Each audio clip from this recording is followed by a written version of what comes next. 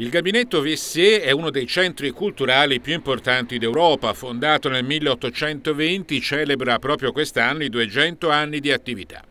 C'erano in programma mostre, convegni e incontri, un programma che si è dovuto adattare alla pandemia.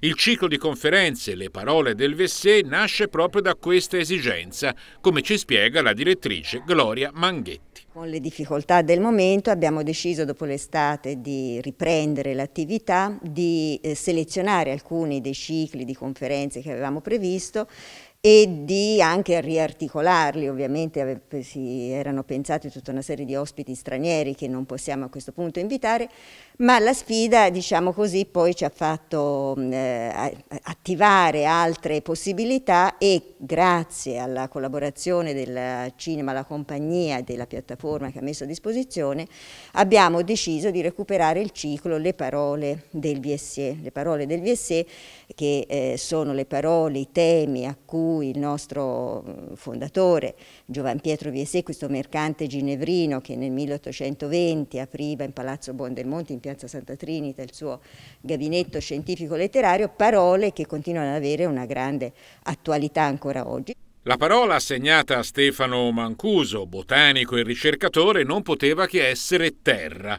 Mancuso parte da un'immagine che tutti conosciamo, quella della Terra vista dallo spazio. Che cosa mostra questa immagine? Mostra il nostro pianeta per la prima volta visto dal di fuori. E come è fatto questo pianeta? È, è colorato. Questa è una cosa che finora ha soltanto il pianeta Terra. Il pianeta Terra è eh, contraddistinto perlomeno da questi tre grandi colori che sono il blu, il bianco e il verde il blu dell'acqua, il bianco delle nuvole, il verde della vegetazione. Quello che è fondamentale comprendere è che in tutti e tre questi colori a loro volta dipendono da un'unica cosa, che sono le piante.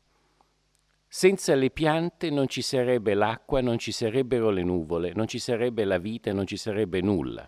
Prima di Stefano Mancuso era toccato a Michela Murgia con la parola comunicazione, un'altra tra quelle scelte nell'ambito del ciclo di conferenze. Proseguiremo con la parola migrazione, era, eh, parole viaggio, sono tutti temi che appunto nel 1820 Giovan Pietro ha portato avanti con il suo gabinetto, con le sue riviste, con la sua editoria, ma che continuano ad avere un'attualità eh, stringente. La parola libro, pensiamo appunto all'attenzione del libro e anche alle criticità di questa parola oggi, no? vista appunto le problematiche della pandemia, ma non solo. Quindi la grande attualità di queste parole eh, riviste da eh, protagonisti della nostra cultura, ma riviste eh, alla luce della tradizione di Giovan Pietro Viessé. Nei giorni di programmazione gli appuntamenti sono previsti per le ore 11 sulla piattaforma virtuale Più Compagnia, per poi rimanere disponibili per le 24 ore successive.